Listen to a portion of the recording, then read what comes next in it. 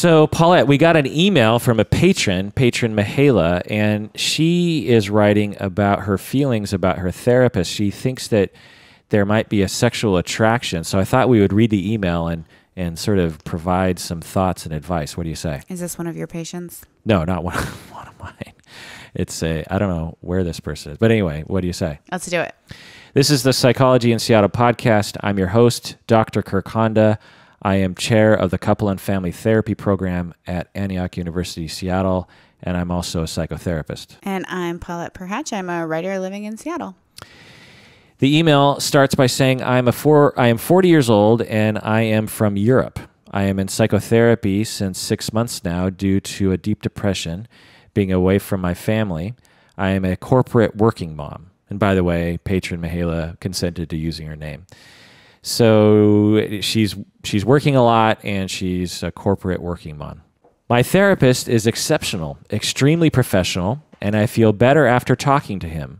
I can tell I have a different view about myself. She goes on to say, My therapist is that person who listens, is interested in my problems. He is there for me, he understands me, he never judges me, and he cares about me. He is crazy good looking as well.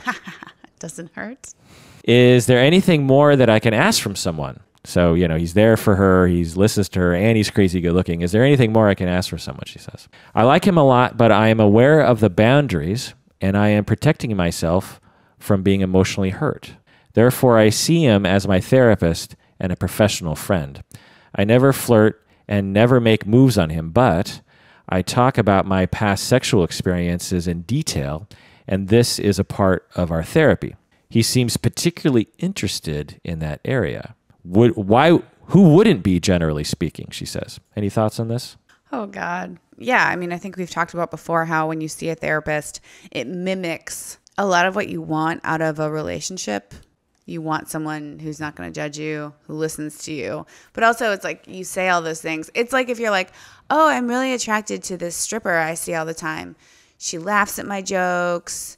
She sits on my lap. So you're saying What us else? therapists were basically just strippers? Pretty much. You're emotional strippers. Yeah. Whereas a stripper gives you what you want sexually, a therapist often gives you what you want emotionally, which is like connection and a listening ear. Mm. Yeah. And you have to pay for it. Yeah. But um, no, I'm just kidding. Um, you guys are obviously trained to help people, but that listening part and that caring part is hard to find. It's hard to talk to people in a way that is so honest. You know, a lot of times, like, I'll go to therapy and I'll just like lay some stuff out, you know, and then I'll come home and my boyfriend will be like, How was it? I'll be like, Fine. And I'm just like, He's, he doesn't, like, this thing happened to me and I had this emotional experience. He's not a part of that at all.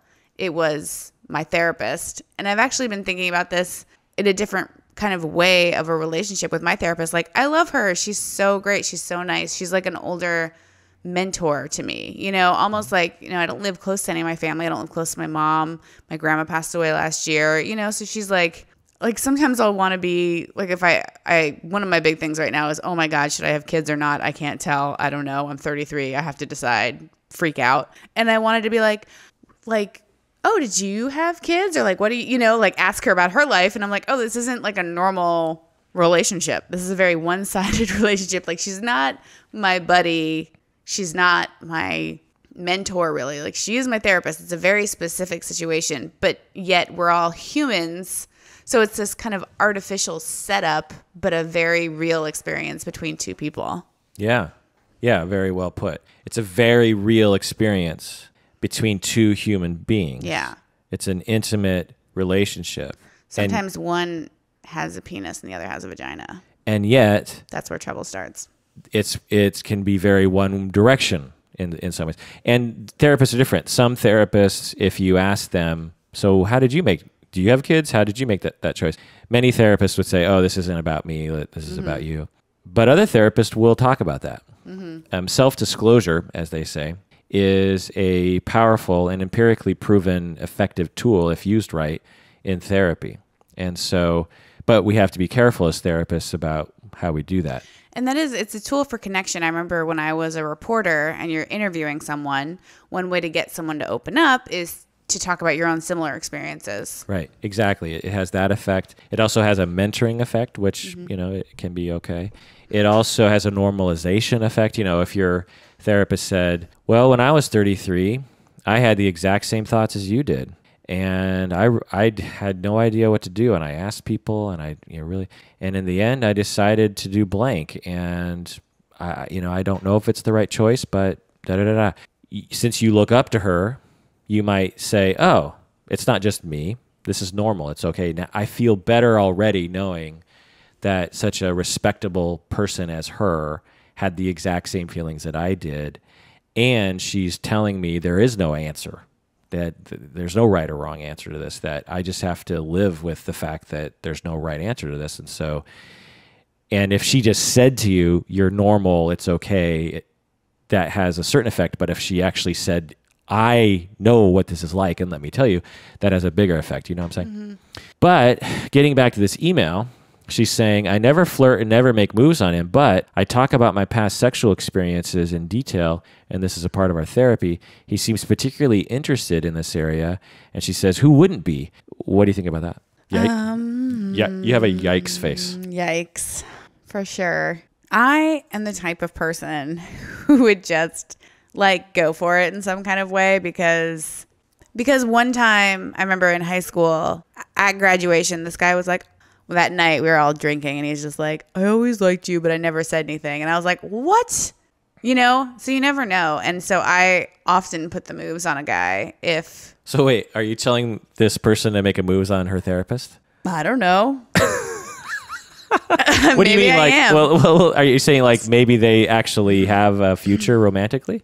Is that impossible? He would never do. I don't know the ethics on on your side. That's interesting. What country is this in? Maybe there's different ethics in different countries. Yeah, I don't know. That's a good question. Maybe you need a different kind of therapy. Are- if you know what I mean. are you so it's interesting you know because you're outside the industry and obviously in a lot of tv shows and movies there's a lot of romantic action between therapist and client are you affected by that because in my industry that is it's it's not only just something you're not supposed to do but it's almost like an impossibility although it does happen occasionally I mean, that's the thing. It's like you think about with like college professors and students, totally frowned upon, but it happens. but you know, and there uh, there isn't an ethical board for professors usually you, you could get fired potentially if there's a policy what are the regarding that. possible consequences if you're a therapist? you would lose your license and you would never be able to practice again Really? yeah Oh my god, that's That surprises you, yeah. That really surprises me. yeah no it if it was ever found out that you had sexual relations with a client you would never practice again See, I hate rules like that. What if like you're what if someone is just kind of having a hard time? Let's say like you're like I moved to a new city, I'm having a hard time. I'm going to start seeing a therapist. You start seeing a therapist. This is your soulmate. The therapist realizes you're soulmates. Mm-hmm. That has to ruin your career. Mm-hmm. yeah you essentially have to say i guess i'm never going to be a therapist again Oh my god. Yeah. I hate rules like that. Well, there are a lot of different things. I'm really, I'm really glad that we're talking about this because I imagine a lot of people are like you because you, especially because in movies and TV, a lot of therapists have sex with their clients. In the past, it used to be more along the lines of what you're saying. Until 20 or 30 years ago, it was like, well, it's frowned upon, Yeah. but it wouldn't ruin your career. In fact, early on, men and women psychoanalysts in the you know F- Freud's students, mm-hmm.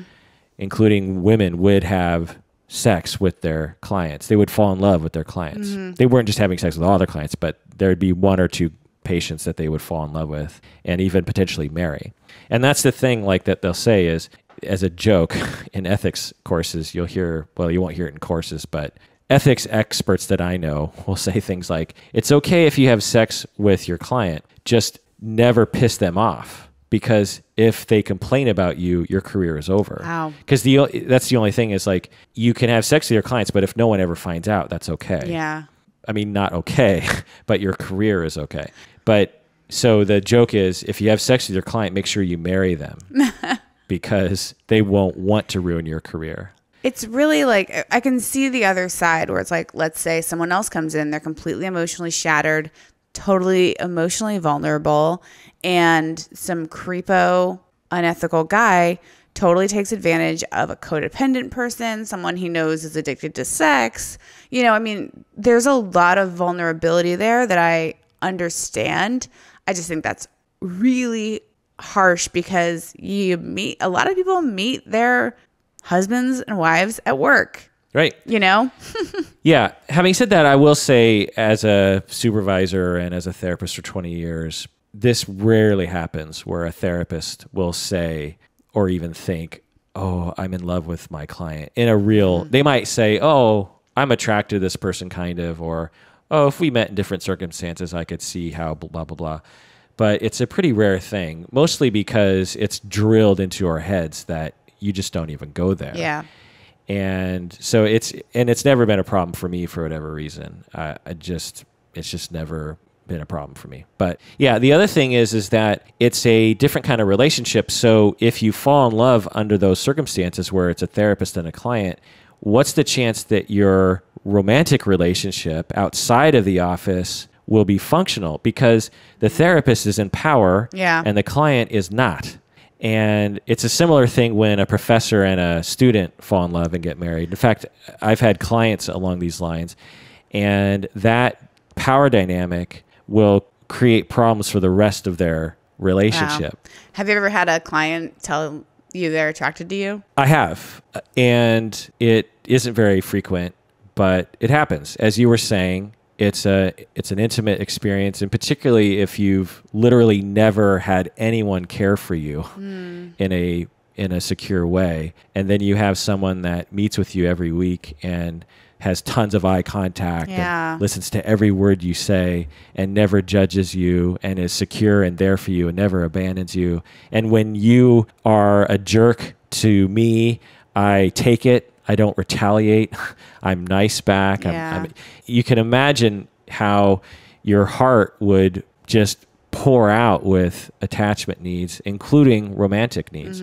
And it happens. And it's just a part of therapy. And what she goes, this uh, listener is, goes on to, or his patron actually goes on to describe some of that. But um, so that's just another thing to think about f- as for therapists in particular is okay, we're having this feeling, but it's it can't really be analogous to dating romance because this is a different circumstance. You know what I mean? Okay, so she goes on to say, now my therapist seems to, well, the other thing that I that I'm interested in terms of what she's saying is like she is thinking that her male therapist is particularly interested in her sexual stories. She's she's talking about her sexual experiences in detail, and he seems particularly interested in this. What do you think about that? A lot of things could be going on here. Number one, they could be very related to her current situation. And relevant to therapy. Yeah, and relevant to therapy.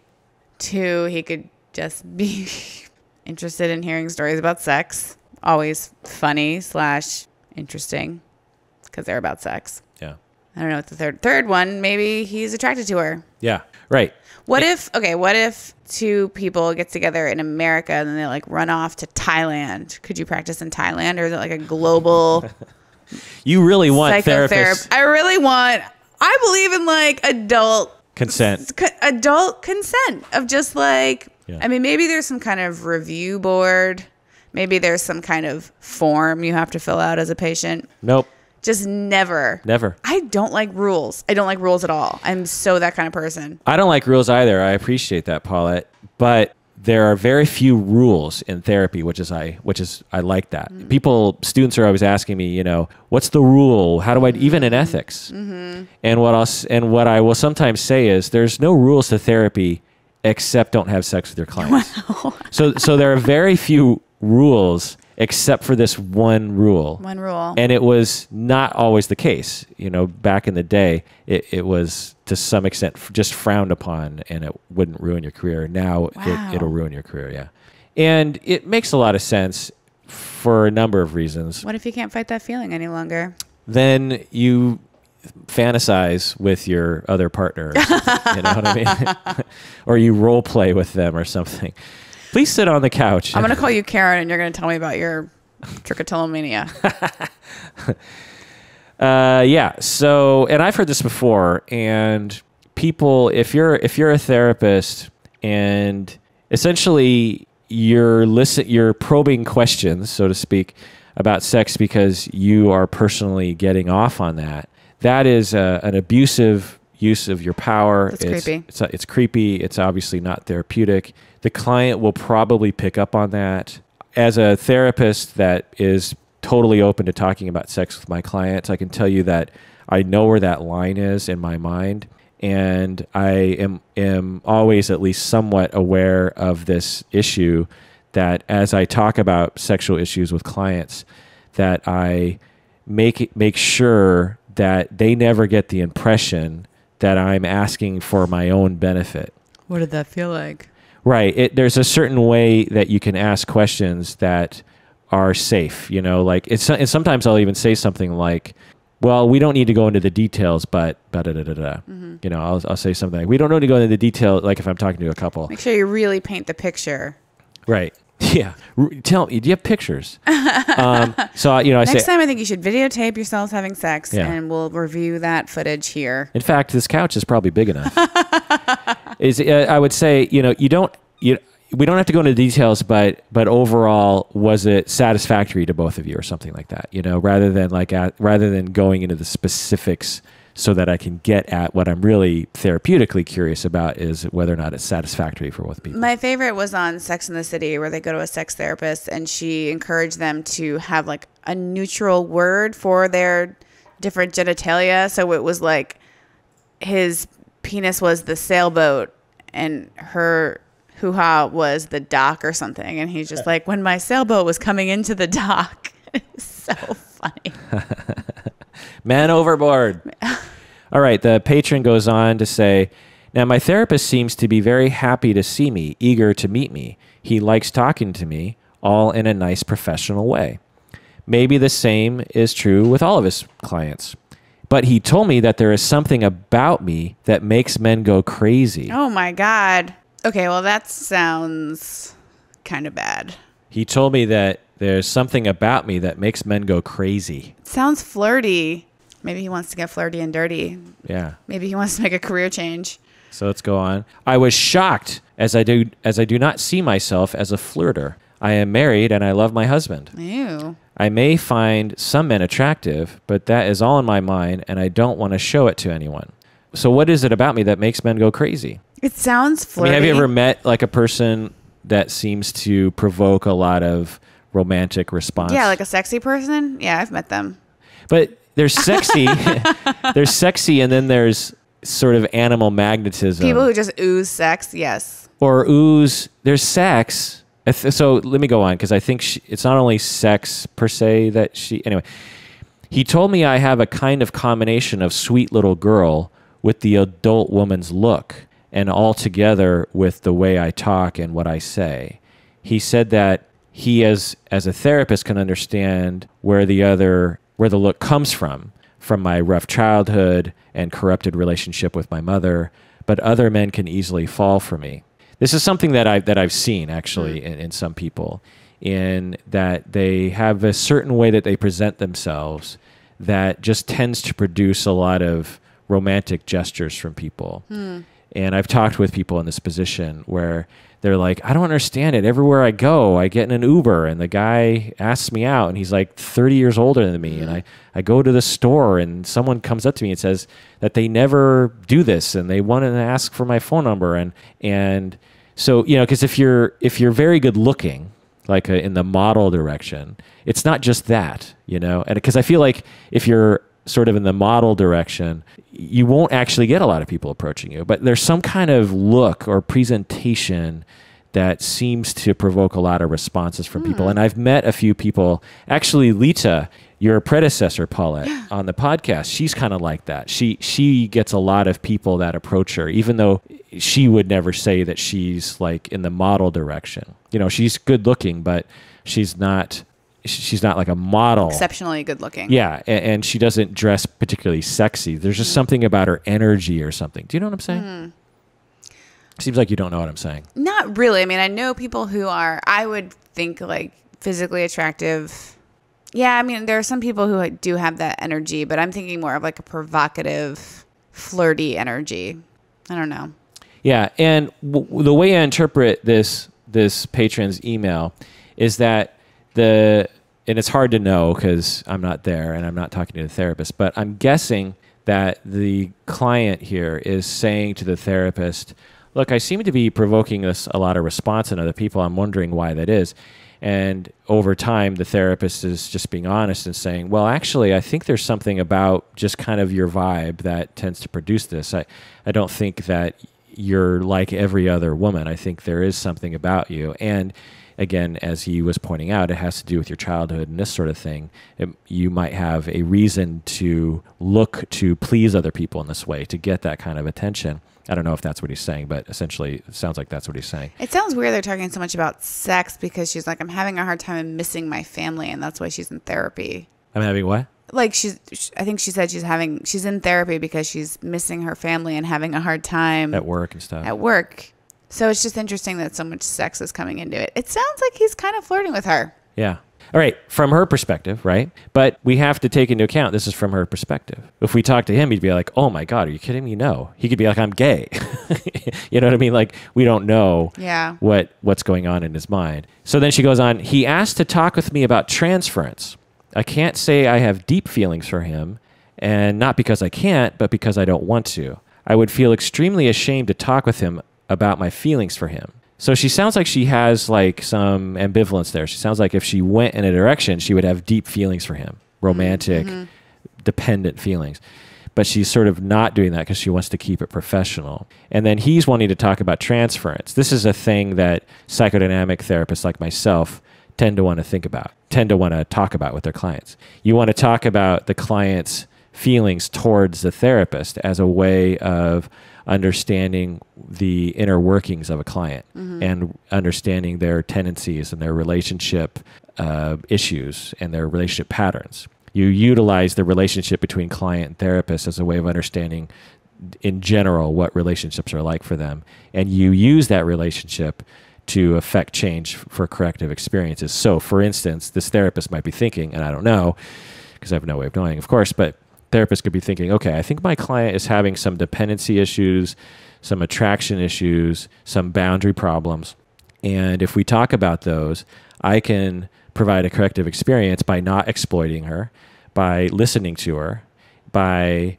allowing her to talk about what she wants to by being close and being warm with her, but again, not exploiting her and not making it about me. And that can be a corrective experience for the client. Does that make sense? Mm-hmm. So maybe that's what he's thinking. I don't know. And I think also she could limit how much she talks about sex in therapy or find that boundary where it feels like a little too sexual. Right. It sounds to me like she might be a little creeped out by it. And so, but having said that, she, in terms of transference, in terms of talking about the relationship, that is a perfect thing to talk about. Yeah. I mean, she could literally show him this entire email.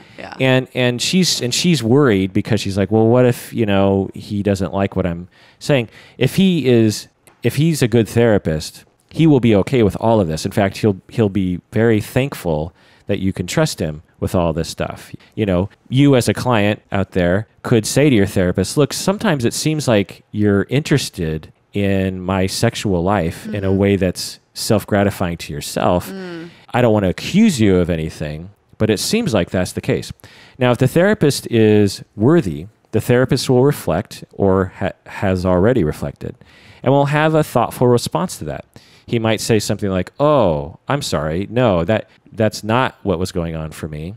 I was purely interested in in it because of blah blah blah." See, that seems a little accusatory to me. Like I would, To I would to the therapist? Yeah, like you're getting off on me talking about this. I would be like, it's making me a little uncomfortable the level to which we're going into detail about my sex life. But this is the difference, and I'm so glad you're saying that. The di- this is the difference between regular life and therapy. Mm. The therapist is a paid professional listener mm. and gets consultation and supervision to not take things personally. Mm. If if it was your friend at work, you might take it personally. But as a therapist myself, if a client said something like that to me, a central tenet of being a good therapist is to listen well to that and to contemplate it well and to respond well. Mm-hmm.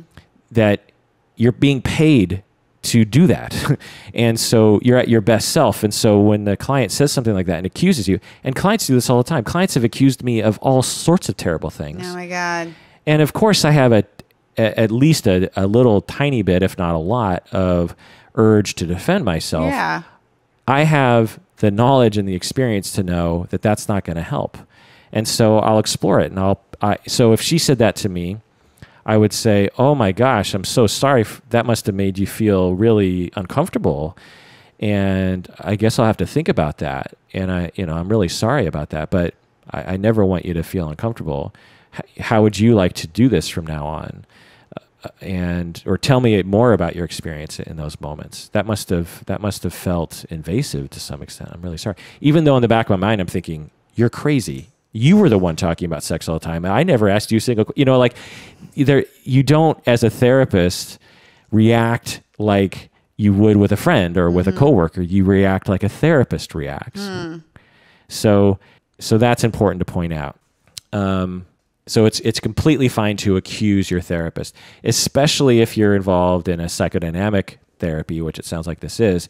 It's extremely important that the that the that the client be honest with the therapist and provide the therapist opportunities to deepen the relationship and provide corrective experiences. Because maybe you know, God God knows there's really no way of knowing, but maybe this is exactly the issue that this client is having with ins- inserting sexuality into her relationships, not being honest with people, setting up relationships to blow up with sexual tension. I mean, maybe that's her issue. And if she provided that material, maybe that would be therapeutic for her. Mm-hmm. She goes on to say, on the other hand, I feel like he likes me, not sure in a sexual way. He finds me interesting, and he may be interested to find if I if that look in my eyes he was talking about has anything to do with my love or my deep feelings for him. He told me this sort of thing is natural and can be managed through therapy, and there are techniques to help the client to cope with deep feelings for his or her therapist. So this is more evidence that they've already talked about her feelings towards him and he's just like it's it's okay. You can have these feelings and there are ways to manage that and it's all part of therapy. So I, i'm guessing that he's probably on the ball. Hard to know. She goes on i need help in how to tell my therapist that i like him that i'm addicted to therapy at this stage Oh God, is that a thing? Oh. I am kind of attracted to him, but not necessarily in a sexual way, but because of how he is and treats me. So just to pause on that, you know, we have to define what addicted to therapy is. And to some extent, I'm the sort of therapist that says that if you are highly dependent on therapy and it's helping temporarily, then by all means move into that dependence. There's nothing wrong with desperately wanting a secure relationship with someone that's helpful to you. Having said that, there's a flip side to that, in, in that if you make someone too dependent on therapy, they can't function without it. Mm. Or it might be very self-serving to the therapist because it makes them money. Yeah. And and all good therapists are good at being able to evaluate that. And Is there a time that your therapist should like kick you out of the nest and be like, "You win therapy. Absolutely. Goodbye." Absolutely. There are times when there are some clients that, because out of habit, they just keep coming to therapy or they're afraid of what it's like to not be in therapy. That, for instance, what I do in situations like that is I will say, you know, would it make sense to cut back on on the amount of sessions per month or something, mm-hmm. Mm-hmm. and then sort of, you know, trickle off into into less and less often. I've been wondering that about about that for myself because it it is so expensive. And you know as I try to be like more and more of like live an artist's life I'm only working like 20 hours a week now so I can focus on grad school and actually like writing a ton. And I'm like oh like I look at that expense you know that huge expense in my budget. And I'm like okay should I be like backing away from this now? And then I go and I'm like oh it just feels good to like come in here and like unload all my feelings you know? Yeah. So, you know, you have to make that choice. And in general, I never terminate people because I've found that clients know where that line is. Mm-hmm. They know when it's worth the time and effort and when it's not. And I just basically leave it up to them. So it's pretty rare that I'll think, I think this, it's a good time to kind of let go of this situation. Yeah. It's pretty rare that that comes up. So she goes on to say, I love the way he hugs me. Oh God. he gives the best blowjobs. Um, I mean, you know, we're we're laughing, uh, but it's it's fine to hug. There's nothing wrong with that. It just there there, there just seem to be a lot of red flags, Yeah, they're due. but it, They're due. Yeah, they're due. they're. There does. You're- there we go. you're a Oh, writer. I'm a writer. Eh, but it's impossible to know because there's really nothing overt here that's saying something's wrong. In fact, given the way I like to interpret things, that innocent until proven guilty, it sounds like this is a wonderful relationship that you're that you're having. There seems to be some discussion or some sexual material in the room. There's nothing wrong with that. It, it it all just matters on where it's headed. If in a year from now this patron writes to me and says we had sex and it blew up in our face and now I hate him and I'm suing him, then we know that well this what these were red flags. yeah. If a couple years from now she says, you know, the therapy relationship is even deeper now and I feel even better about things and he's always been very professional and da da da da, da then we can say this whatever was happening right now was just therapy pushing the envelope a little bit into areas that are that are a little interesting you know like you say you don't like rules there's nothing wrong with talking about sex in therapy right Yeah. and there's nothing wrong with some kind of sexual attraction happening right You know what else though? It's like I'm beyond a person who doesn't like rules. If something is a rule, it makes me want to not do it all the more. Really? So maybe this guy is really fighting his feelings and letting allowing himself the these little like jollies these little jollies, these tiny jollies. yeah Um and that I happens hate for sure that word, by the way. Oh, way. really? That reference. I had forgotten how much I hate that word. why do you hate that word It's just jollies. It's so weird. Does it sounds like think of San- Christmas, but Santa it has Claus? to do with like getting turned on and sex stuff and weirdness. um, like get your jollies. Oh, that is the worst. Um, so I think that there's a lot of different. There's various pink flags. I'll call them pink flags. Yeah. Well, yeah. And the way that I, it, I'm on the end of the spectrum that when, when most therapists, when they would read something like this, in my experience, there would be a lot of gasps. There'd be a lot of, oh my God, this is so terrible. I'm the sort of therapist of like innocent, innocent until proven guilty. We have no idea what this therapist would have to say. Yeah. There's nothing that's happened so far. They hug, no big deal. Um, is something happening? Maybe. Um, but we won't know until the future happens Yeah, she needs to There's a- update us. there's nothing happening right now Nothing's happened thus far. and there's nothing inherent in what's been done already that is bad therapy and there's a lot of puritanical bullshit in our society that when the, the idea of sex comes up about anything Yeah.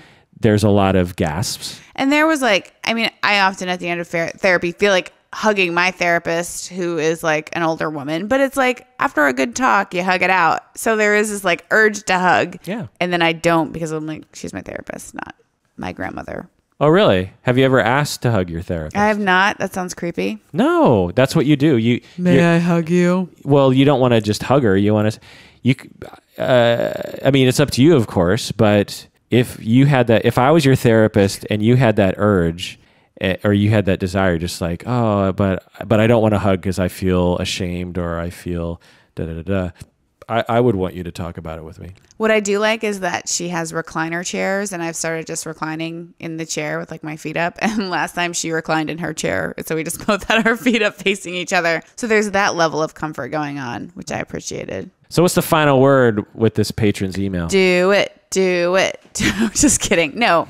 Um, destroy his career I destroy think his career it's possible if it's possible that this is going to go somewhere and you are married and don't want anything to happen. Do you think it's a good idea for her to not to cut off this relationship with this therapist? It seems I, I will I will say it seems as if trouble is brewing. I could see how you would say that. Trouble could absolutely be brewing, or maybe there's nothing on the fire and there's nothing brewing at all. There, there it's it's really impossible to know given what she's saying. Yeah. It's I could see it's very easy to believe that, and it, and I could see a lot of inexperienced therapists saying you know, that this client should run for the hills or this therapist should refer.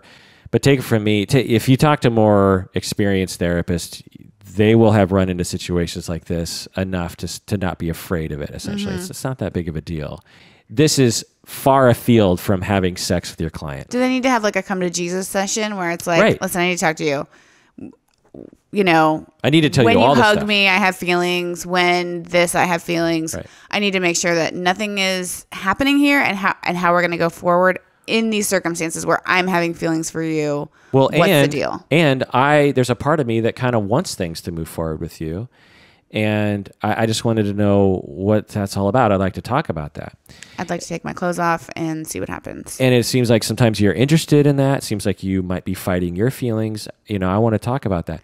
And the therapy for for some modes of therapy that is completely right down the middle therapy to talk about what's happening in the room to be real to be honest and again as if the therapist is good in getting proper consultation then that can be a very enriching conversation.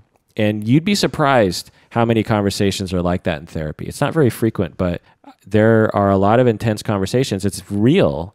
Um, imagine she goes to her therapist and she tells all that to him. And he says you know what? I'm so glad you talked about that. I can tell you that i will never be in a relationship outside of the therapeutic relationship with you. I will never entertain any kind of sexual urge uh, along those lines i will never that that will never ever happen i guarantee you and i will also say that i'm a human being and sure sometimes things come up for me but but i don't entertain them and I d you're a client and i care about you in the way that i care about a client or the way i care about my younger sister or something you know I, I says, We can't. And then they look into each other's eyes and they get closer and closer. That's the way I see it going down. that forbidden fruit thing for me oh. kills me. But then also it's interesting as a client to know that like your you would boyfriend's be, butt, like you that's forbidden fruit. to like poke his butt, you're just like it's forbidden fruit. I have a compulsion to poke it. I should explain that on a previous episode we talked about how when my boyfriend is walking up the stairs in front of me, I just want to poke him in the butt, and it really annoys the crap out of him. And I have to not do that, but I don't for him.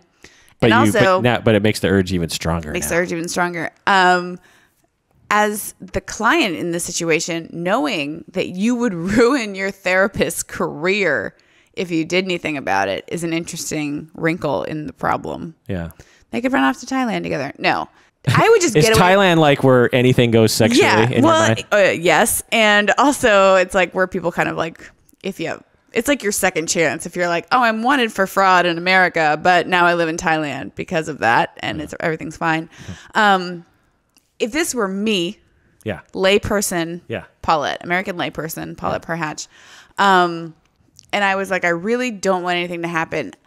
I might just remove myself from the situation because then he becomes more and more of the forbidden fruit. It could be like an it become it could become for her like an emotional affair where it's Well, so I don't but know. I, I think which- that if you're which- feeling feelings like that, you have to like remove yourself from it. which which would be a potentially very healthy move. Another healthy move could be to talk about that in therapy and wonder about why you, Paulette, have such a hard time with forbidden fruit. You know, Yeah. what is it about the forbidden fruit that attracts you? It, let's talk about that. You know, and what sort of issue are you avoiding by going toward the forbidden fruit instead of the fruit that's in front of your face? So there's there's a lot of questions that can come up Yeah. you as a client have total control over what you do. But if I if a if a client said that to me, I would throw that out there and say you you can terminate with me. That's fine. But how about this? Blah blah blah. I acknowledge that there's the investment in the relationship with a therapist. Where like, well, I, do I want to go to a new therapist and tell them about my sister and my mom and da, da, da, like they got to get the whole background. So there is an investment there that I'm not. I'm not saying it's a light thing to terminate with your therapist. The final word that I'll say about patron Mahala's email is that she's very brave to write in and to let us use her name. and because there's nothing to be ashamed of here. There's absolutely nothing to be worried about, really. If in the future something bad happens, then we can look back and say there was something to worry about. but there's nothing here that is abnormal, and there's nothing here that to be ashamed of, and nothing to be guilty of. It's normal, like we were talking about, when you develop a deep relationship with a with a therapist and client, that you're going to have some of those feelings, and that's okay. And in our puritanical sensibilities, we have to fight against our urge to judge and to shame and to run away. and instead just accept and say that feelings are feelings and actions are actions. Just keep your privates private. We can keep our privates private and our feelings as feelings and our actions we don't have to go toward. And she is very aware of herself. She is not blaming anybody. She's just saying, These are my feelings. I'm wondering what's going on with my therapist. I'm getting a vibe. I have questions. I don't know. She seems very healthy in this way. And I think that she's she's doing real great. And it sounds like it's it's a very wonderful therapeutic relationship. Again, if in a year you're having sex, then we can say this was a terrible relationship in which he was grooming you. But if things continue to going as they are, which we don't have any reason to believe that they won't, this is a deep relationship that's providing her an opportunity to learn from this experience, to learn experientially from this deep relationship with him. And hopefully it'll bear fruit. And it sounds like it already is. She's saying that the therapy is really helping. What about telling her husband? That is a very good question. We'll do that on another episode of Psychology in Seattle. Thanks for joining us out there. Please take care of yourself because You're worth it. and you deserve it. And you deserve it.